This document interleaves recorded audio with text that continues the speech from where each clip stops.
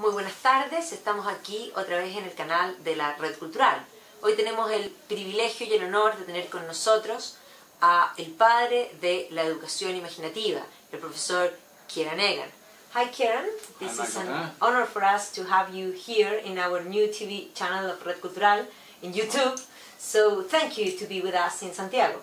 It is my pleasure and I'm honoured to be on your channel in YouTube. Thank you. People want, I speak about imaginary education, people generally ask me what it is because they just is a, for them it's a new concept Yeah. and they do not really understand what is the difference between imaginary education and general education. Can you explain a bit what is imaginary education and what are the difference? Not easily, but basically um, it's a form of uh, thinking about education and thinking about educational practice that focuses on engaging the emotions and the imaginations of children in the content of the curriculum. Um, the curriculum, everything in the curriculum is wonderful in one way or another. It's all very exciting.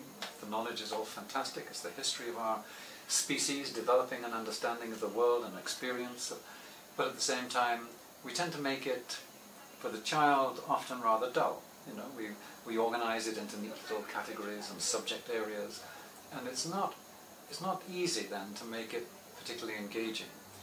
And what imaginative education is all about, really, is showing how that content, how we can bring out the wonder and the, and the imaginative engagement in the contents of the curriculum. The everyday materials that we teach are all of them wonderful in one way or another. So it's about how you can see that sense of wonder, how you can bring it to the child's mind. So we have developed lots of techniques, practices that show how you can take the fact that alternate interior angles of a parallelogram are congruent as one example, which you know often we make rather dull. It's a, it's a task of um, learning some geometry that is not particularly interesting to most children, but it, it has in it with stories about who invented it, why it was invented, what wonders there are attached to that, and embedding it in the context of that sense of wonder from which it came makes it much clearer, much more interesting to students.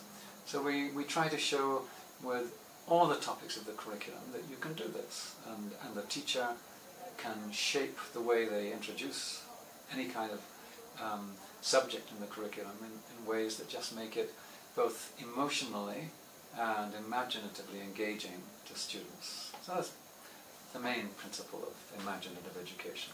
In some ways, to make the contents again alive as they were in their time. So, because mostly of the things that are, were created by men were created by men with their own lives and feelings and reality, Men and women, yes. and women, of course. But I'm Yes. speaking in general. Right. Um, yes, I mean, I mean, one of the basic principles we have is that all the knowledge in the curriculum is, is a product of human hopes and fears and passions. And if we want to make it meaningful to children, we have to embed it in the, those hopes and the fears and the passions that either were involved in its generation in the first place or in its use by somebody today. And it's only in those kinds of contexts that the children can see, oh, that's why learning that history is important or that geometry is important. It's really interesting if you put it in those kinds of living contexts. So what we have tried to do is show how you can do that with any area of the curriculum and for all ages. And, and the kinds of contexts that are engaging for children at age 5 are different from those that are engaging at age 10, which are different again from those at age 15. So we've tried to show how imaginations develop in a way that also uh, enable us to present the curriculum and see the curriculum differently for children at different ages. And they see the, or they engage with different contents through their life because it's something, the general theory generally focus in, in the difference in development in something biological. But in your theory, it's not biological. Uh, you get different kinds of, you speak about kinds of understanding Right. that is shaped by your education. So in educated Yes. mind, you develop an entire whole theory. Can you explain a bit about that? A bit, Yes. Oh, but but Yes, mostly sure.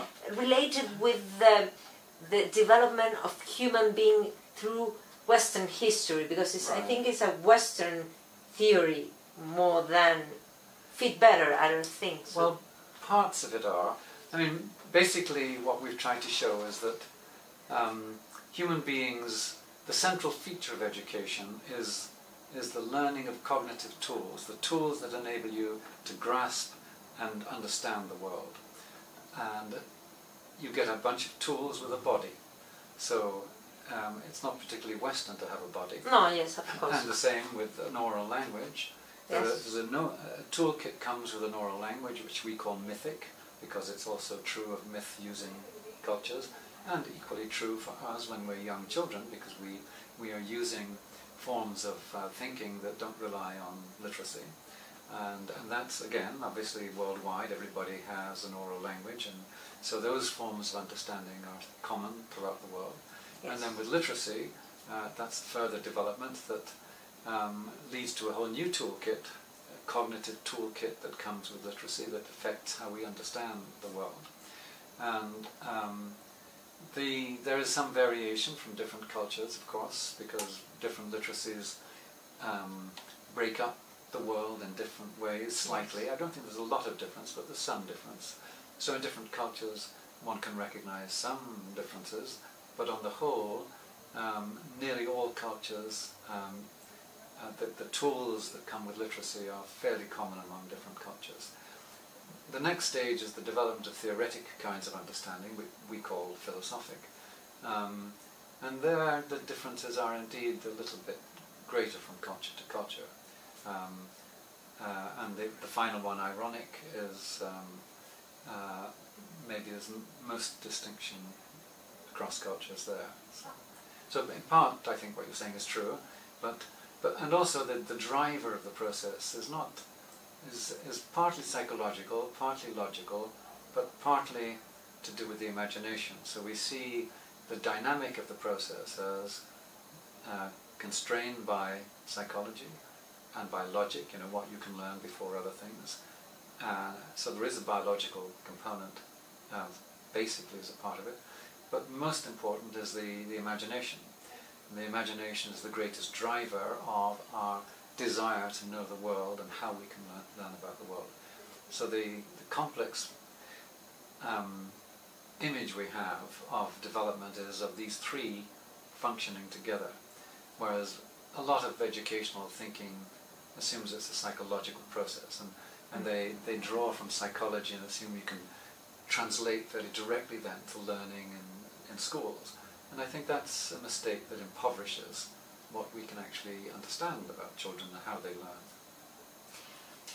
And uh, what's the role of language? Because you say imagination, so your imagination grows yeah, with, with the time and because you are educated, but there is something that language plays in that change. Yes, well, I think it's very much a language-oriented theory, um, and not limited to that, but that's what has been most developed in the theoretical literature so far. Um, and indeed, um, our developments of language, you know, we're a, we're a very strange animal because um, our language and then literacy transforms. There are technologies that transform our thinking, so we become uh, uh, we become a creature that is a cultural. We're a cultural animal, but um, and another feature of this theory that I think is fairly unique. Most most theories of education and theories of development are all about how you get better as you get older, as it were. and um, and this is a little different because with each step of development there are losses. There are things you, you lose by gaining literacy, which gives us all kinds of wonders, but there are costs to literacy.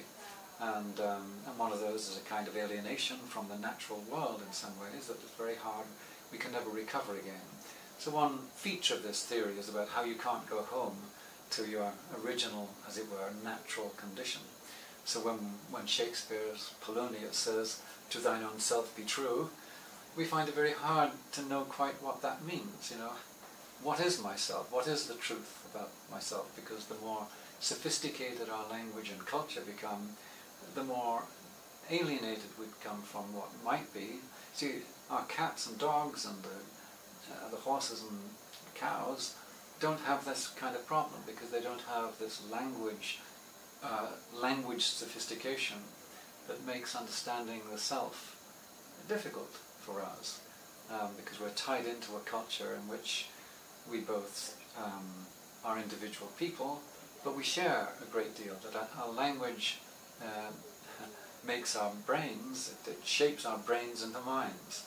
And the mind is st strange because um, what, what, is, what mostly fills our brains is um, things like language that we share. Neither of us invented the words that we're using, um, but at the same time we, we want to make them ours, but they can never be ours because we're, we live in this strange cultural realm where we're now this is all a bit, gets a bit arcane, but it, it, it, it rises out of the, the fact that we, that language is one of the big drivers of the process of education that's involved with imaginative education. And as time goes by, our language becomes more sophisticated, and that, that is one of the most important and evident features of the development from what we call you know, mythic to romantic to philosophic kinds of understanding, because each of them involves an increasingly complex uh, use of language. Yeah, but also we think in words. You, some, to some very large degree we do, but not entirely. No, not entirely, because you have images too, but in order to name that, you put it a word anyway. Yes. Oh yes, that's, that's, yeah, I think language is obviously much more important than often we account. A lot of people want to say that images, a lot of children seem to use images much more.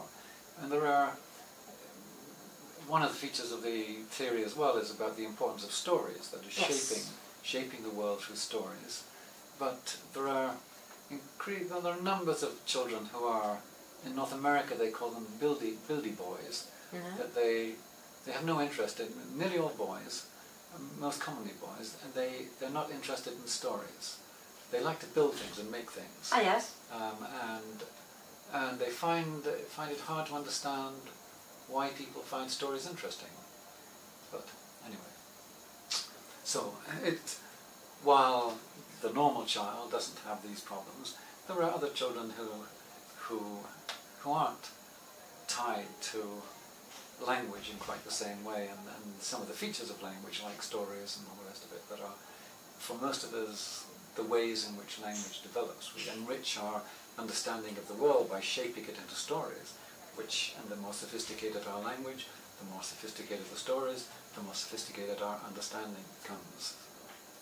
Yeah, being sophisticated, so having more cognitive tools in mm-hmm. your life, necessarily means that you have to be serious and more, uh, I don't know, boring people because generally people, for instance, related to be academic, uh -huh. to be very boring and speak very difficult indeed.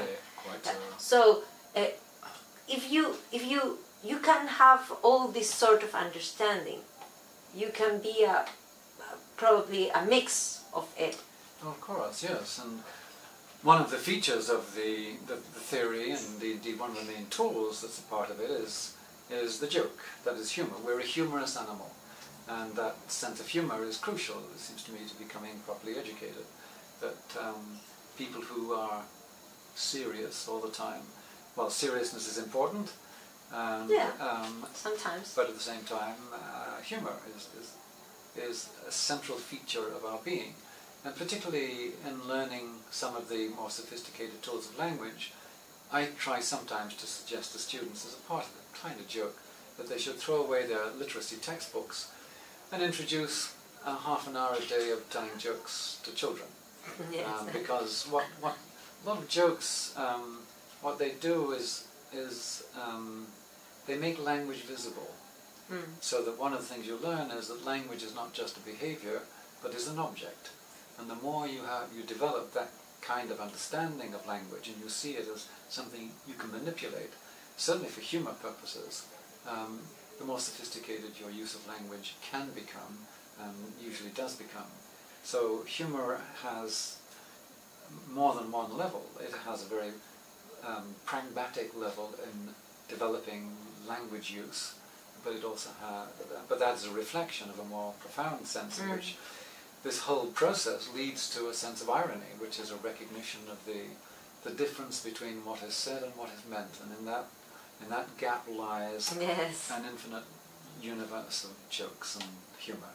Because in some sense our existence is strange and peculiar and ripe for humour. Is in some way this theory, well, we were talking about language, which one is unique of human being, but also human being is the only one that is free. So, and the freedom is the one that allows you to be or to take another path of. So it's the own nature that is not uh, uh, determined by their nature. So uh, we are the only being that have this sort of wonderful uh, possibility. Yes, but it comes at a cost.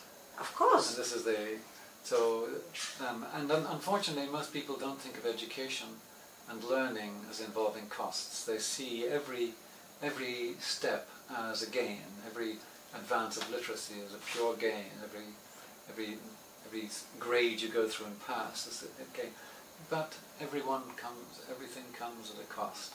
The aim of education is to maximize the gains and to minimize the costs. And if you're not aware of the costs, you're more likely to incur increasing costs. And that, I'm afraid, is I think what happens a lot in schools because people don't recognize that there are costs involved in, in some of these processes, so they lose more than they need to. So, you know, children lose, for example, a sense of humor. They don't see, not that they keep the humor outside of the learning, but they don't see why that's important in, in learning about geometry and history and they don't consequently see how the imagination can come into play in, in these areas, and they don't see the sense of wonder that is in the fact that alternate interior angles of a parallelogram are congruent. So all of these things are imaginatively engaging, have a sense of humour attached to them in peculiar ways, and if you aren't aware of these, you're likely to make the whole enterprise a bit duller than it ought to be. Something th- that loses that you speak about, it's a, you can, eh, I wonder if you can exemplify that in that when you are just oral, an oral person, you can see an image and get a lot of information of that image immediately. But when you are literate and there is an image, you go directly to what is written down because written down is the most important Uh-huh. uh, Oh, yes. I don't know. I wonder if Uh-huh. uh, because uh, I'm thinking because you explain that your theory has a sort of relationship with the development of the Western civilization Right. uh, in history. So the idea of recapitulation. Right. And if we're thinking about Middle Age, where people generally do not read, Uh-huh. and they were a very iconic Mhm. and image-centered society Right. And later on it changed. hmm Yeah. Yeah, no, that's true. And, I mean, if we talk about, I mean, one has to be careful, obviously, talking about recapitulation, because recapitulation theories at the end of the 19th century know. and early 20th century were led to disastrous social consequences because because the, the question the question is what is recapitulated and I think in the 19th century early 20th century they assumed it was somehow this nobility of human development or, or the knowledge that was reca- re- recapitulated that what had been invented in ancient Greece and the modern day is recapitulated in the child who goes through it and learns it more rapidly. Whereas what the, the sense of recapitulation in the theory that, of imaginative education is that what's recapitulated, repeated uh, in the child's experience from our cultural history are the cognitive tools. It's Yes. not it's not the content and it's not Yeah. the etc. But it's the, the toolkits Yes. that you learn. The way you understand the world. Yes, and that gives you great power to be able to understand it in increasingly rich ways.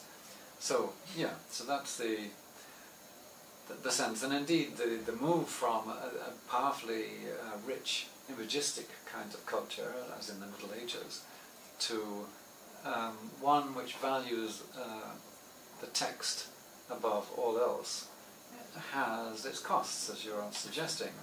Um, uh, and it needn't, of course. I mean, the, the trouble is that we, we tend to value certain things and then assume that what they are in contrast with, we, we suppress the value of what it replaces.